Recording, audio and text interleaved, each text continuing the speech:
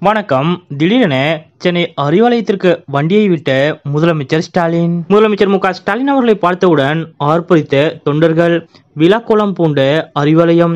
இதை பத்தின மொழிவர்த்தலை இப்ப நம்ம பார்க்கலாம். நடந்து முடிந்த லோக்சபா தேர்தலில் தமிழ்நாடு மற்றும் புதுச்சேரியில் உள்ள நாற்பது தொகுதிகளிலும் திமுக அபாரமான வெற்றியை பதிவு செய்துள்ளது. இதனால் முதலமைச்சர் மு ஸ்டாலின் அவர்கள் மிகுந்த மகிழ்ச்சியில் இருக்கிறார். இதற்கிடையே வெற்றி பெற்ற வேட்பாளர்கள் முதலமைச்சர் மு ஸ்டாலின் அவர்களை சந்தித்து வாழ்த்து பெற விருப்பம் தெரிவித்தனர். ஆனால் இந்திய கூட்டணியின் ஆலோசனை கூட்டத்தில் பங்கேற்க நேற்றைய தினம் முதலமைச்சர் மு ஸ்டாலின் அவர்கள் டெல்லி புறப்பட்டு சென்றார். நேற்று நள்ளிரவில் தான் மீண்டும் முதலமைச்சர் மு ஸ்டாலின் அவர்கள் சென்னை திரும்பினார். இந்த நிலையில் இன்றைய தினம் முதலமைச்சர் மு ஸ்டாலின் அவர்கள் வெற்றி பெற்ற எம்பிக்களை சந்திக்க நேரம் கொடுத்தார். அந்த வகையில் இதற்கான ஏற்பாடுகள் சென்னை அண்ணா அறிவாலயத்தில் மிக தீவிரமாக நடைபெற்றது. வெற்றி பெற்ற திமுக மற்றும் அதன் கூட்டணி கட்சி எம்பிக்கள் நாற்பது பேரும் அண்ணா அறிவாலயத்தில் கூடினர். அவர்கள் ஒவ்வொருவரையும் முதலமைச்சர் மு ஸ்டாலின் அவர்கள் தனிப்பட்ட முறையில் சந்தித்து வாழ்த்து தெரிவித்தார். முன்னதாக இன்று மாலை ஏழு மணி அளவில் முதலமைச்சர் மு ஸ்டாலின் அவர்கள் சென்னை அறிவாலயத்திற்கு வந்தபோது திமுக தொண்டர்கள் மேலதாளம் முழங்க வானவெடிக்கை வெடித்து முதலமைச்சர் மு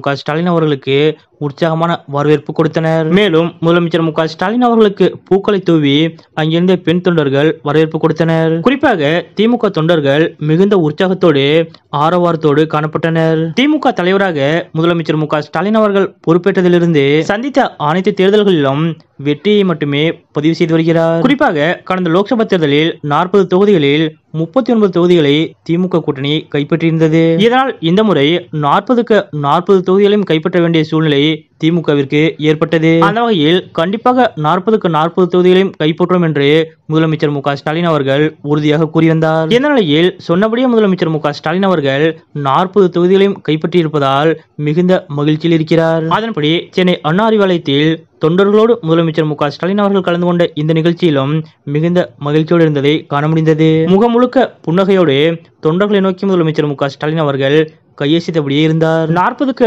நாற்பதும் என்ற இமாலய இலக்கை எட்டி முதலமைச்சர் மு ஸ்டாலின் அவர்களும் திமுக தொண்டர்களும் மிகுந்த மகிழ்ச்சியில் ஆரவாரம் செய்து வரக்கூடிய இந்த நிகழ்வு பற்றிய உங்களுடைய கருத்துக்கள் என்ன அப்படிங்கிறத மறக்க மக்க மாண்டில் குறிப்பிடுங்க.